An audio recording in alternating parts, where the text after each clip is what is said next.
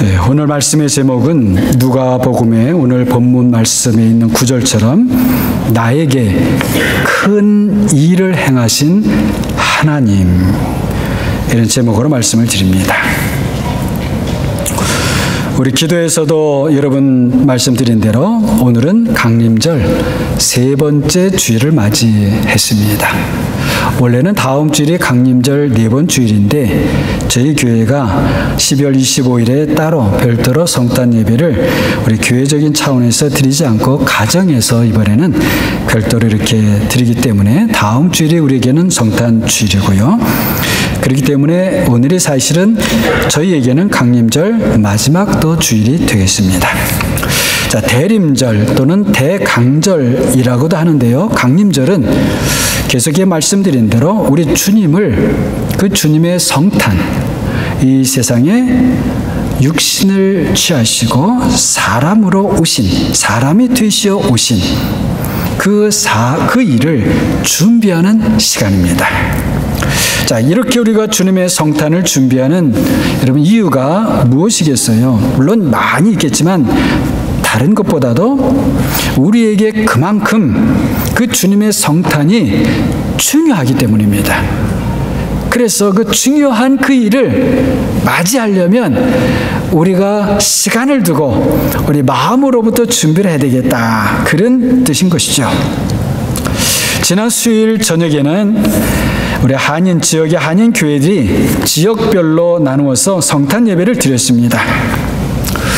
많은 사람들이 본 것은 아니지만 썰이 한인 장로 교회당의 그 교회당 규모에 좀 알맞게 그렇게 보였습니다. 당연히 모르는 교인들이 저로서는 뭐 많았지요. 그렇지만 서로 만나서 함께 성탄 찬양도 부르고 또 이웃을 위해서 함께 기도도 하면서 어, 그렇게 주님의 성탄을 또 다시 한번 마음에 새기며 예배하니 참 좋았습니다. 믿는 사람들이 우리 이렇게 마음을 같이 해서 무엇이든지 함께 하면 은혜가 되고 좋은 것 같습니다. 자, 믿는 사람들이 이 모양 저 모양 서로 연합하는 것은 그건 참 좋은 일이죠. 물론 내가 속해 있는 나의 교회, 내 교회 중요하지요. 중요합니다. 그렇지만 좀 우리의 마음을 좀 넓힐 필요가 있다는 것이죠. 모든 교회는 그리스도 안에서 하나예요. 그리고 모든 성도도 성도들도 그리스도 안에서 사실은 하나입니다. 우리가 니케아 신경에서 배운 것처럼 우리는 하나인 거룩하고 보편적이고 사도적인 교회를 믿습니다. 그와 같이 고백을 하죠. 우리는 그런 사람들입니다. 하나이고 one, 거룩하고 holy, 보편적이고 캐톨릭, 사도적인 apostolic church. 자, 이 고백에서 사실은 이 한 단어, 네 단어가 사실은 교회에 대해서 앞에 붙었는데요. 한 단어 한 단어들이 정말 의미 있고 깊은 내용을 품고 있습니다. 자, 하지만 우리가 살고 있는 세상은 자, 어떤 세상인가요? 우리가 날마다 일상의 생활 속에서 직면하고 있는 현실, 우리가 맞닥뜨리고 있는 현실은 어떤 현실인가요? 안타깝게도 우리의 현실은 많은 경우 야, 내가 이 세상 살면서 참 일하고 그래서 벌어서 먹기도 먹으며 살기도 힘든데 다른 사람 살필 내 여유가 어디 있는가? 난 그런 여유 없어. 그런 그런 어떤 어, 마음들이 있죠. 세상에서요. 그뿐이 아닙니다. 어떻게 하면 내가 더 좀 잘 먹고 잘 살까? 어떻게 하면 내가 좀 더 많은 돈을 벌어서 성공할 수 있을까? 또 어떻게 하면 내가 보다도 내 생각에 행복하게 그렇게 살 수 있을까? 자, 이런 것에 몰두하는 세상이죠. 지금 세상이. 말하자면 개인주의, 이기주의, 물질주의, 뭐 쾌락주의, 자, 이런 풍조와 생각들이 만연한 세상에 우리가 살고 있어요. 그런 세상에서 살다 보니 우리 믿는 사람들도 그렇지만 교회들도 은연중에 점점 그런 세상의 현실을 따라가고 있는 것 같아요. 그러다 보니 또 교인들도 점점 그저 나 자신 그리고 내 교회 그 외에는 잘 모르고 나는 몰라 그렇게 돼버리는 것 같아요. 그러다 보니 또 내 교회가 좀 크고 좀 사람들 보기에 잘 나가는 그런 교회처럼 보이면 거기에다가 자신의 말하자면 자긍심을 두게 되죠. 또 반면에 그렇지 못하면 또 반대 현상이 나타나게 되기도 하죠. 지금 세상에서 부익부, 부는 부를 더 쌓고 빈익빈, 빈은 가난은 가난은 더 가난해지는 이런 현상이 점점 더 커져서 많은 사람들이 사실은 지금 시대와 사회를 걱정하고 있어요. 그렇게 걱정하고 있는데 요즘은 교회들마저 우리 성도들의 마음마저 그렇게 되고 있는 것 같습니다. 정말 안타까운 일이죠. 저는 저를 비롯해서 우리 자신들부터 먼저 나도 중요하지만 다른 사람을 나무지 않게 배려하고 중요하게 생각하고 또 내 교회도 중요하지만 내 교회 못지않게 다른 교회를 좀 생각해 주고 배려하고 중요하게 그렇게 여긴다면 참 좋을 것 같습니다. 주님께서도 말씀하시죠. 내 이웃을 내 몸처럼 사랑하라. 우리가 완전하지는 못해도 조금이라도 이 말씀대로 살아간다면 사실 얼마나 좋은 일이겠습니까? 그렇다고 제가 당장에 우리가 그렇기 때문에 이런 일을 해야 됩니다. 저런 일을 해야 됩니다. 무엇을 할까요? 여러분, 제가 그런 말 하려는 것 아니고, 먼저는 우리가 마음을, 마음을 자꾸 그렇게, 그러하게 갖자는 것입니다. 우리 마음부터. 마음이 먼저인 것입니다. 선한 마음이 내 속에 그래서 깊이 깊이 자리를 잡게 되고 그렇게 잡고 있으면 합당한 때또 그래 해야 할 그때에 또 선한 일을 위해서 우리의 몸도 움직이고 내 손도 벌려지게 되고 내 팔도 또 따라가게 되는 것이죠. 자, 우리가 믿음의 삶을 산다라고 하는 것은 우리가 살 수 없었던 그런 삶을 살게 되는 것입니다. 또 마찬가지로 우리가 믿음의 길을 간다라는 것도 마찬가지입니다. 우리 사람이 갈 수 없는 길을 간다는 것. 그것이 믿음의 길을 간다는 거예요. 에이, 목사님. 사람이 갈 수 없는 그런 길을 우리가 어떻게 가나요? 아니에요. 그렇습니다. 사실은 그렇기 때문에 이것이 참 신기한 것이에요. 신기한 것입니다. 물론 사람이 갈 수 없는 길을 가고 우리가 살 수 없었던 그런 삶을 살게 된다고 해서 그렇다고 우리가 사람이 아닙니다. 이런 거 아니에요. 그런 것 아니에요. 이상한 사람이 그래서 돼야 됩니다. 이런 것도 아닙니다. 사실은 그렇기 때문에 이 믿음의 길, 믿음의 삶은 참 신기하다는 것입니다. 자, 예를 들어 보겠습니다. 우리가 잘 아는 성경 그런 이야기죠. 내용입니다. 이스라엘 백성이 모세와 함께 물론 모세의 인도를 받았죠. 물론 그 앞서는 하나님께서 인도하시는 것이죠. 자, 이집트에서 나왔습니다. 그걸 우리가 출 애굽이라고 하죠. 출 이집트죠, 사실은. 예. 자, 그런데 그래 나왔는데 얼마 가지 못해서 앞불사 홍해를 만나게 되었죠. 자, 난감한 상황입니다. 어떻게 합니까? 그런데요, 그뿐이 아니죠. 우리가 흔히 엎친 데 덮친 격이다. 그런 말을 쓰죠. 이것이 웬일입니까? 뒤에서 이집트 군대가 자신들을 붙잡으려고 추격을 해오는 거예요. 자, 이스라엘 백성들이 뒤를 돌아보니까 이집트 군대가 멀리서 흙먼지를 일으키며 병거를 몰고 이 병거는 오늘날로 말하면 전차예요, 전차, 탱크. 병거를 몰고 추격해 오는 거예요. 붙잡히면 다시 그들의 종으로, 노예로 살아야 합니다. 그렇게 되면 아마도 전보다 더 심한 학대와 멸시를 당할 거예요.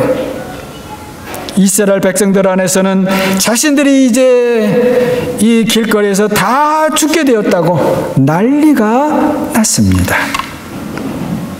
그때 출애굽기 14장 16절을 보게 되면 하나님께서 모세에게 너는 지팡이를 들고 바다 위로 너의 팔을 내밀어 바다가 갈라지게 하여라.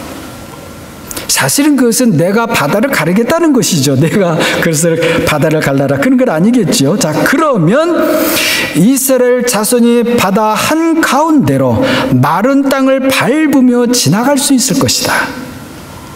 그렇게 말씀을 하십니다. 그리고 말씀대로 이스라엘 백성들은 홍해를 마른 땅을 걷는 것처럼 걸어서 건너게 되죠.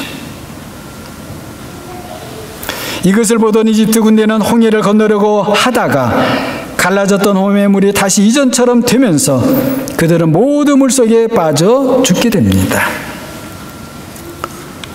자, 이스라엘 백성들이 홍해를 마른 땅을 건넌 것 이것은 여러분 사람이 갈 수 있는 길이 아니었죠. 그런데 이스라엘 백성들은 사람이 건널 수 없는 그 길을 실제로 걸었어요. 그리고 건너갔습니다. 이게 웬일입니까? 그들은 건너고도 이것이 꿈인가 생시인가 이것이 꿈인가 실제 현실인가 그러면서 신기했을 거예요. 뭐라 설명은 안 되는데 통과는 했고 걸었기는 했고 다시 보니 홍해는 홍해예요. 여러분 보십시오. 자, 하나님께서는 모세를 통해서 홍해를 갈라 주셨습니다. 그리고 이스라엘 백성은 그 속을 걸어서 건넜습니다. 우리가 믿음의 길을 가는 것이 때로는 이와 같다는 것입니다. 어떻게 보면은요, 우리가 믿음의 길을 간다, 믿음의 삶을 산다 라고 하는 것은 항상 이러하다 라고 말할 수 있다는 것이에요. 정말 놀라운 일이죠. 그래서 믿음의 길을 가는 사람은 사람이 갈 수 없는 길을 가는 것이라고 말하는 거예요. 여기서 우리가 한 가지 더 주목해서 보아야 할 것이 있습니다. 자, 하나님께서 홍해를 갈라 놓으셨습니다. 그런데 만일 어떤 사람이 자, 하나님께서 홍해를 갈라 놓으셨든지 아니 하셨든지 그래도 하여튼 하나님께서 나를 홍해 저편으로 어쩌든지 직접 나를 옮겨 주실 때까지 나는 꼼짝 않고 움직이지 않겠다. 나의 믿음은 그렇다. 나는 이 믿음으로 하나님을 끝까지 기다리겠다. 만일 그러한다면 여러분 그것이 믿음일까요? 그것이 믿음일까요? 아니죠. 누군가 만일 그리한다면 그것은 사실은 하나님을 시험하는 것이고 믿음이 아니라 오히려 하나님을 불신하는 것이고 그리고 사실은 그것은 악한 것입니다. 하나님은 놀랍게도 우리가 하나님이 하신 그 일에, 그 하나님의 일에 자원해서 참여하기를 원하셔요. 이렇게 하나님의 일에, 하나님 하시는 일에 참여하는 사람은 당연히 하나님을 경외하고 놀라워하는 마음이 생기게 되는 거예요. 홍해를 걸어서 건넌 이스라엘 백성들을 생각해 보세요. 그리고 하나님과 하나님이 하신 그 일을 찬양하게 됩니다. 그건 억지가 아니지요. 자연스럽게 그 마음속에서 생겨나는 것이죠. 홍해를 마른 땅같이 걷는 그 사람들을 여러분 생각해 보면 그러하지 않겠어요? 감사와 찬양이 너무나 당연한 일 아니겠습니까? 예. 자, 홍해를 마른 땅같이 걸어서 걷는 그 사람들보다 더 놀라운 하나님의 일에 참여한 사람이 있습니다. 이걸 참여라고 표현해야 될지를 모르겠는데 하여튼 그러한 사람이 있어요. 사실은 그러한 일과도 비교할 수 없을 정도예요. 정말 크고 놀라운 하나님의 은혜, 하나님의 역사라고 밖에는 달리 표현할 수가 없습니다. 누구인가? 바로 오늘 누가복음 1장 우리 함께 읽은 인물 통정녀 마리아예요. 처녀 마리아입니다. 우리가 잘 알듯이 마리아는 하나님의 성육신을 위하여 선택받은 사람입니다. 달리 말하면 이것을 좀 이렇게도 표현을 하더라고요. 하나님께서 취하실 그 육신, 그래서 육신은 단지 이, 이 육신, 몸만이 아니에요. 휴먼 네이처, 휴먼 네이처 전체를 말하는 거예요. 그것을 제공한 당사자라는 거예요. 마리아가 말의 몸을 빌렸다는 것이 그런 것이에요. 놀라운 은혜이고 그리고 여기서 놀라운 선택이고 놀라운 기회였습니다. 그 마리아는 자신에게 주어진 기회를 빼앗기지 않았고 주어진 선택을 믿음으로 붙잡았고요. 하늘로부터 부어지는 그 은혜를 누렸습니다. 어떤 사람은 마리아가 처녀의 몸으로 아들을 잉태하게 되었을 때에 그 사실을 알고는 사람들이 나를 어떻게 생각할까? 나의 그런 미래는 어떻게 될까? 이거 어떻게 하지? 염려하면서 두려워했을 것이라고 말하기도 합니다. 사람의 생각을 해보면, 사람의 생각을 따라 이렇게 그 가보면 그렇겠지요. 그렇지 않겠어요? 마리아는 유대인이에요. 그런데 처녀가 아이를 잉태한다? 율법에 어긋나지요. 여러분 유대 율법이 얼마나 무서운 법입니까? 율법을 어긴 사람은 여러분 돌에 맞아 죽는 일이 많아요. 그렇게 돼야 돼요. 또 그 법은 하지만 사실은 처녀가 뭐 잉태한다, 아이를 낳는다, 유대인의 법만 그런 것이 아니지요. 세상의 모든 법이 사실 마찬가지예요. 처녀가 아이를 잉태한다? 그것은 불법이고, 그것은 욕을 먹을 일이고, 사회에서 나고자가 될 운명이고, 그 엄마도 그렇고, 앞으로 태어날 아이도 소망이 없지요. 하지만 그렇기 때문에 마리아가 세상이 무섭고 자신과 아이의 미래를 걱정하는 그런 불안에 빠져버렸을까요? 아니에요. 그렇지 않습니다. 우리가 그 마리아를 그렇게 보면 안 됩니다. 성경이 마리아를 그렇게 보고 있지 않아요. 정반대지요. 마리아는 하나님을 잉태했고 그래서 성령 충만한 상태였고 그렇기 때문에 세상 그 무엇도 마리아를 두렵게 할 수 없었습니다. 세상을 두려워해서 염려 걱정하는 것이 아니라 반대로 마리아는 하나님과 하나님이 하신 일을 찬양하지 않을 수 없었습니다. 그리고 자신이 그 놀라운 하나님의 일에 부르심을 받고 그 일에 참여하는 당사자가 된 것이 너무나 감사했고 그리고 자신이 정말로 크고 놀라운 하나님의 복을 받은 사람이라는 것을 즉각적으로, 직감적으로, 예언적으로 알게 되었습니다. 오늘 설교 본문이 누가복음 그 1장에서 우리가 함께 읽은 내용들을 쭉 보게 되면 바로 그 크신 하나님의 일에 대한 그 마리아의 찬양이에요. 찬양. 저는 이 찬양을 가만히 보면서요. 홍해를 건너온 후에 그 60만 명이나 되는 이스라엘 백성들이 불렀던 찬양의 그 소리보다 더 큰 소리구나. 더 큰 찬양이구나.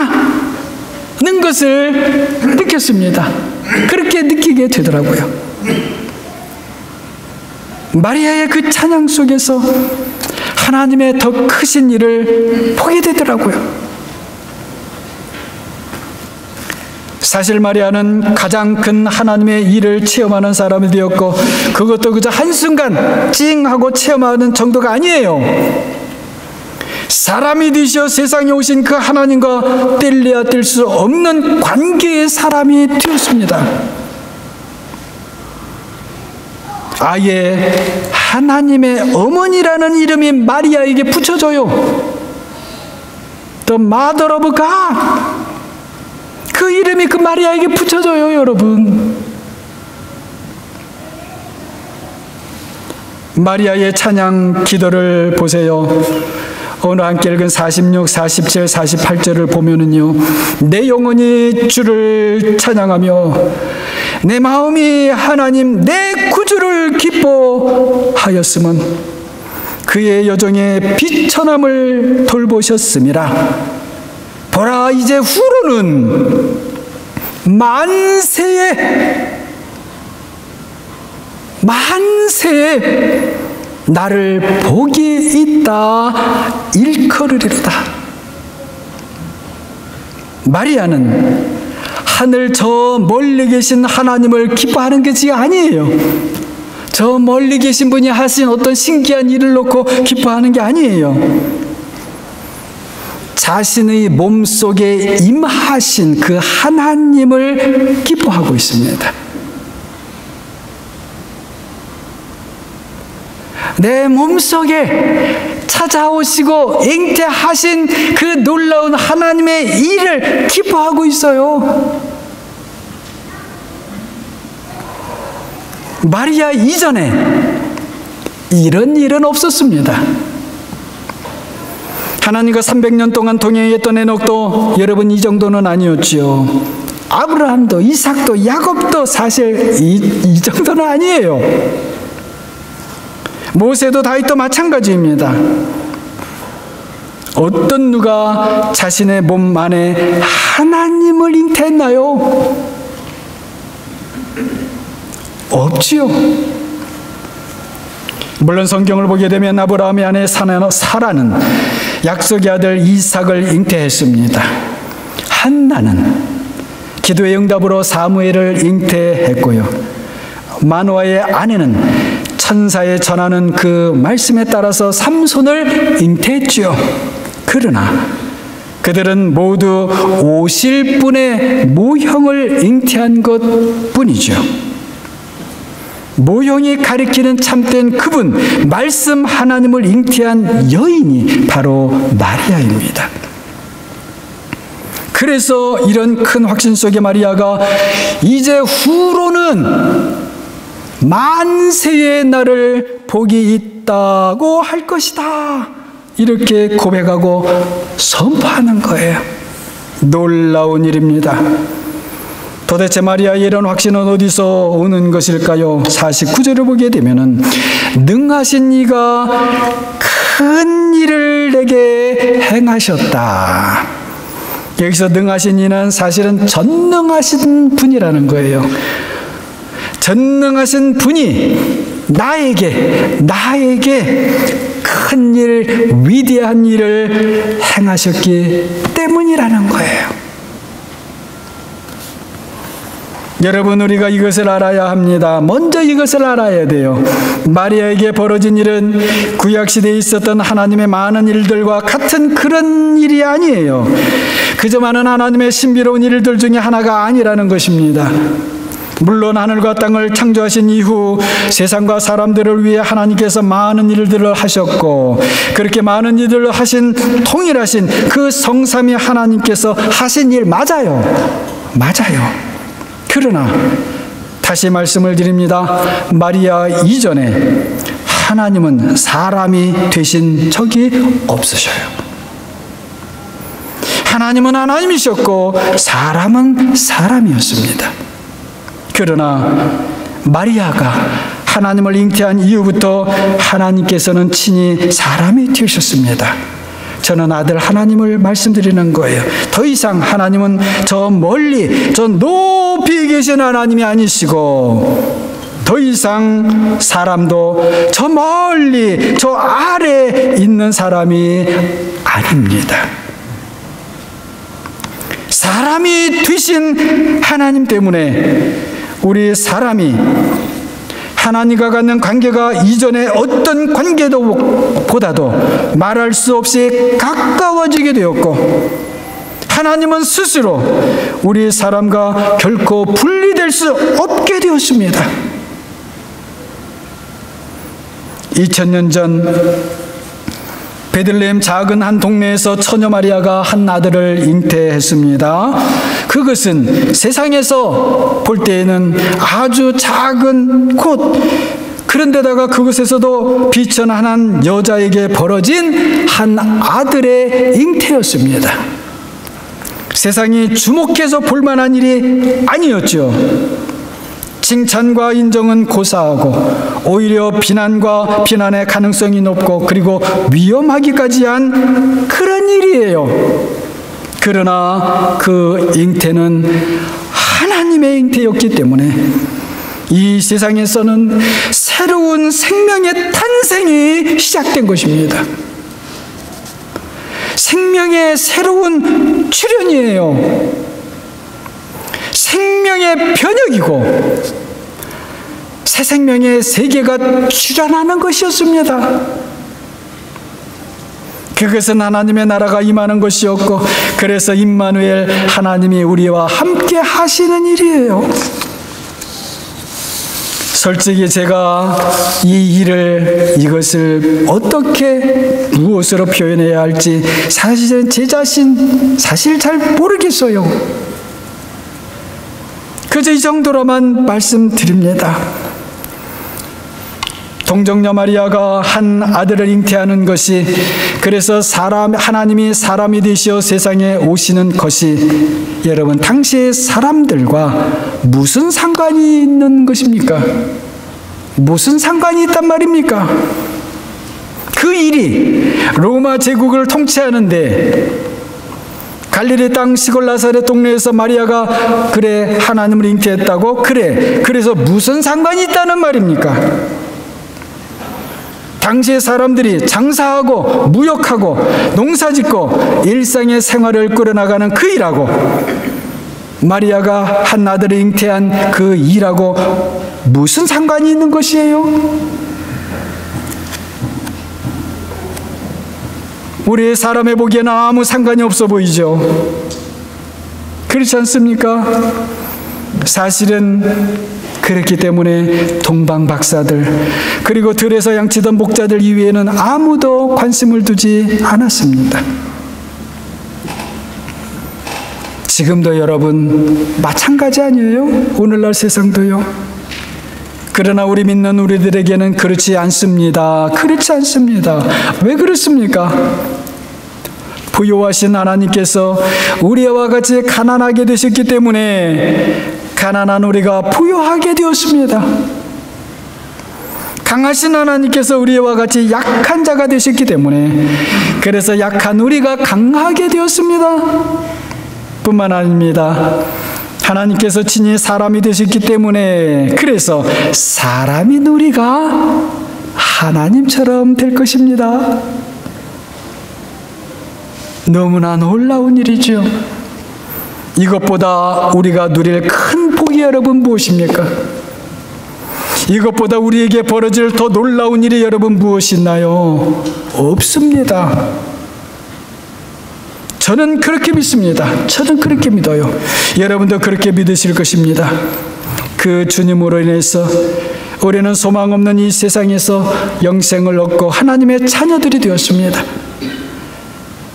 그분으로 인해서 우리는 가짜 기쁨, 가짜 행복이 넘치는 이 세상에서 참된 하늘의 기쁨과 복을 소유했습니다.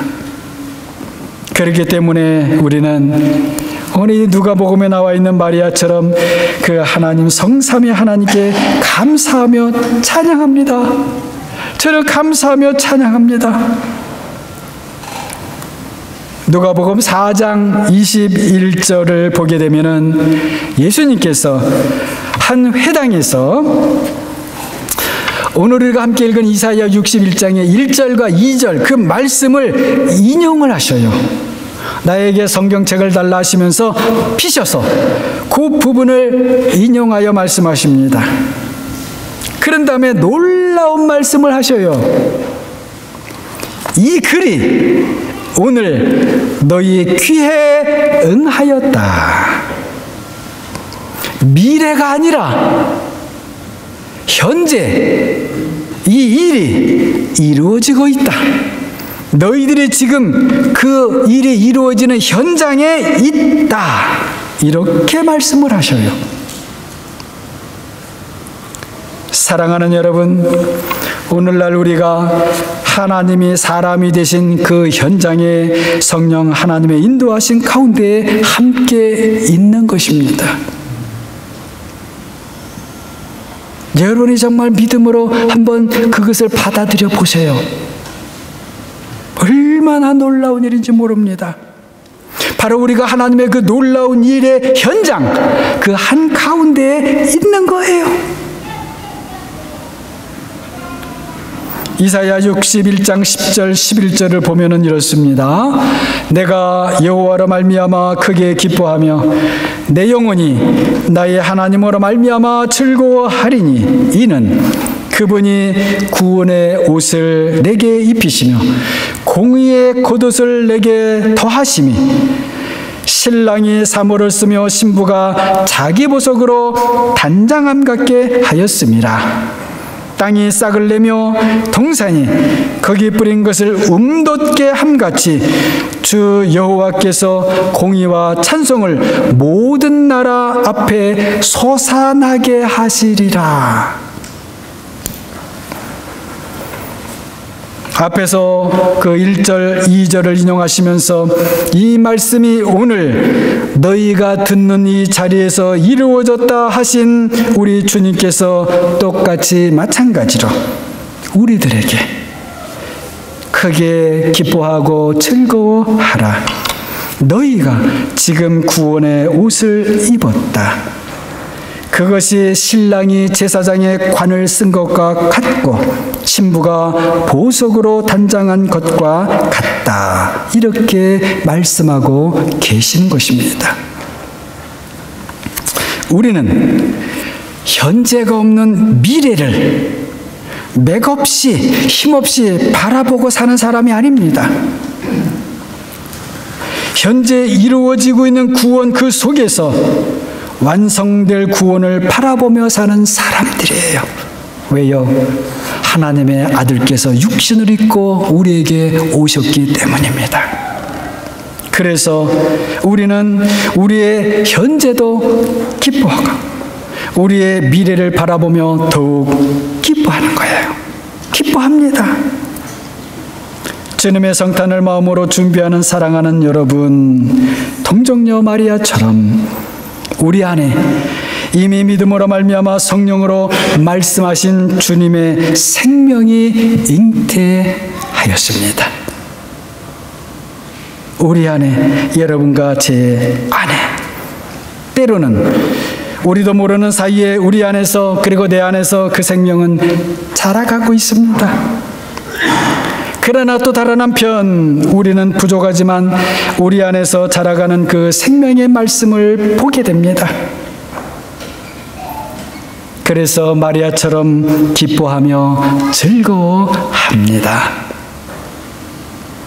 이 기쁨과 즐거움을 우리 성삼의 하나님 안에서 영원토록 우리가 함께 여러분과 제가 함께 나누고 하늘의 신호림은 모든 천사들 그 성도들과 함께 영원토록 나누고 누리게 되기를 주님의 이름으로 간절히 축원합니다. 기도합니다.